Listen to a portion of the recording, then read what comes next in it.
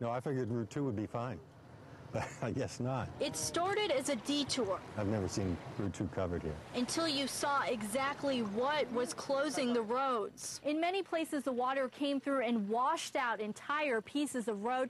And if you think this looks bad, imagine if you'd been driving on this. Oh man, my car is awesome. Sweet. Adam Cooley's friend drove his car until he couldn't. You know, driving to Montpelier, trying to check out the damage, take pictures. And I see my car on the side of the road. Seven cars were nearly swallowed whole by Right Auto Sales in East Montpelier. Came over last night around midnight and it was all washed out. We had cars in ditches upside down and there's water running across here foot deep. We had seven in and now we're down to two and we're gonna have to go back here and get the other two out. And then there was Cabot, It was devastating. the middle of town ripped into by rushing water.